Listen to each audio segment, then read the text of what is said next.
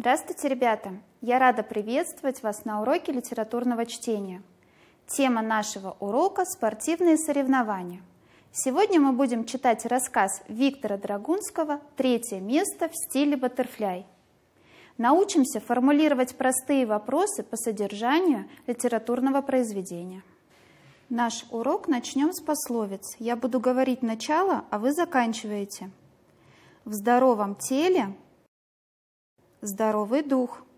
Кто спортом занимается, тот силы набирается. Кто любит спорт, тот здоров и бодр. Отдай спорту время, а взамен получи здоровье. Ребята, о чем эти пословицы? Правильно, о спорте. А сейчас проверим, как хорошо вы знаете различные виды спорта. Отгадайте загадки. Там сегодня будет жарко, несмотря что лед кругом. Две команды будут драться, и за шайбы все бегом. Хоккей. Вот спортсмены на коньках упражняются в прыжках, и сверкает лед искристо. Те спортсмены фигуристы. Мяч в кольце, команде гол. Мы играем. Баскетбол. По водным дорожкам плывут наши асы, то баттерфляем, то кролем, то брасом. Плавание. Я уверена, вы легко справились с загадками. Ребята, а как вы думаете, каким образом выявляют сильнейших спортсменов и команды? Для этого проводят спортивные соревнования. Спортивные соревнования проводятся с целью выявления сильнейших спортсменов и команд, пропаганды физической культуры и спорта. За свою победу спортсмены получают места. За первое место спортсменов награждают золотыми медалями – за второе место – серебряными, за третье место – медали из бронзы. На прошлом уроке мы с вами говорили о плавании. Вспомните, какой стиль плавания самый сложный и самый красивый.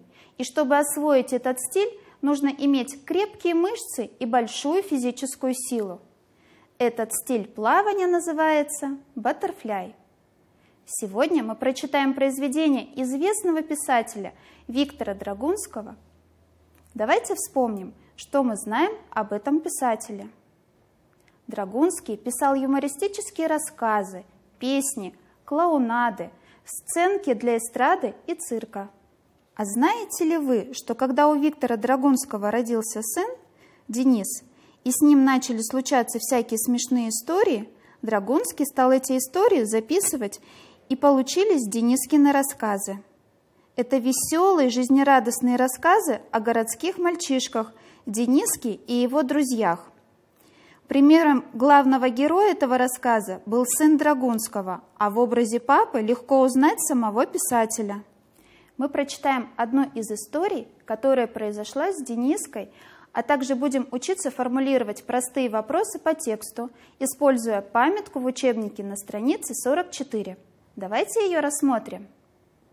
Порядок постановки простых вопросов. Первое – прочитать текст. Второе – определить интересный момент. Третье – выбрать ключевые слова. Четвертое – составить вопросительные предложения из трех-пяти слов. Приготовьтесь к чтению. Я буду читать, а вы внимательно слушайте и постарайтесь найти ключевые слова в тексте. Когда я шел домой из бассейна, у меня было очень хорошее настроение.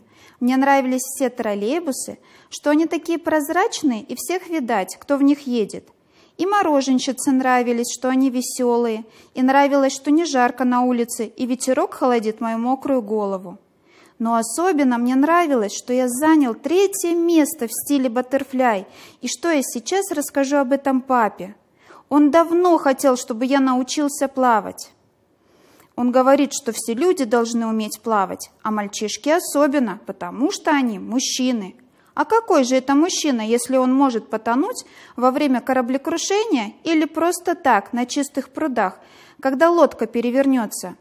И вот я сегодня занял третье место, и сейчас скажу об этом папе. Какие ключевые слова в этом отрывке можно выбрать, чтобы понять, о чем идет речь в тексте?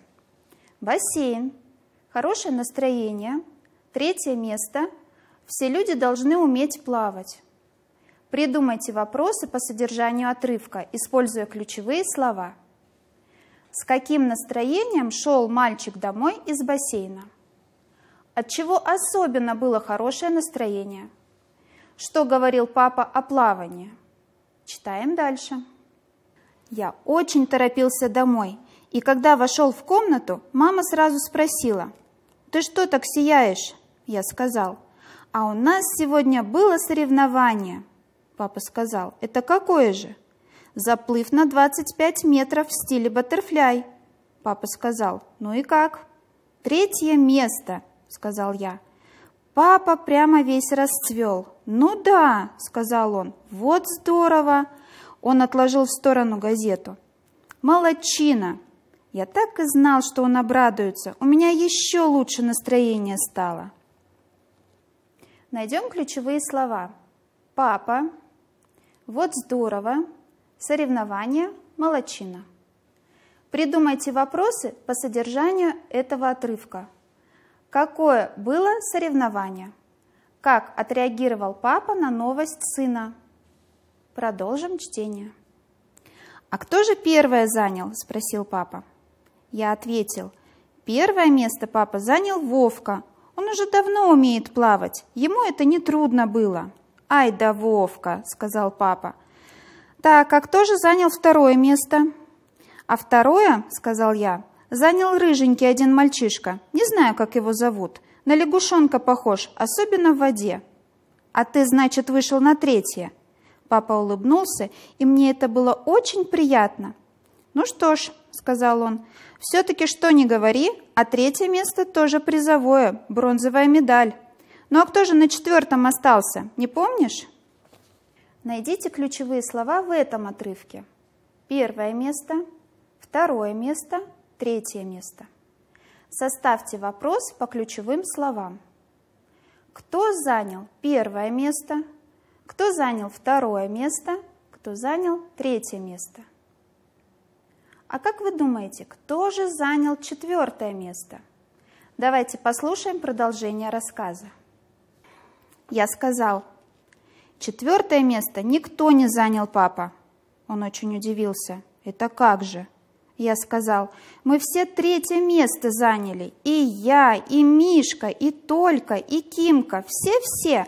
Вовка первое, Рыжий лягушонок второе, а мы остальные 18 человек мы заняли третье. Так инструктор сказал. Папа сказал, ах, вот оно что, все понятно. И он снова уткнулся в газеты. А у меня почему-то совсем пропало хорошее настроение. Как вы понимаете выражение «и он снова уткнулся в газеты»? Продолжает читать газету. А у меня почему-то совсем пропало хорошее настроение. Я загрустил. Почему инструктор не присудил никому четвертое место? Чтобы их поддержать, похвалить. Он же видел, как они старались. Сравните настроение мальчика в начале рассказа с настроением в конце истории. Мальчик считал, что он действительно заслужил третье место и хотел обрадовать своего папу. И настроение стало еще лучше, когда папа похвалил сына. Но когда папа узнал, что третье место заняли все остальные 18 человек, он огорчился, и хорошее настроение у героя совсем пропало. Что нужно сделать Денису, чтобы снова порадовать отца? Стремиться к победе – а для этого нужно приложить как можно больше усилий. Я надеюсь, вам понравился рассказ, и вы будете так же, как и герой истории, стараться радовать родителей своими успехами. Еще раз прочитайте рассказ и составьте свои вопросы по содержанию литературного произведения. Подведем итог урока. Мы прочитали рассказ Виктора Драгунского «Третье место в стиле баттерфляй» научились формулировать простые вопросы по содержанию литературного произведения. Я желаю вам успехов во всех ваших начинаниях. Наш урок окончен. До свидания.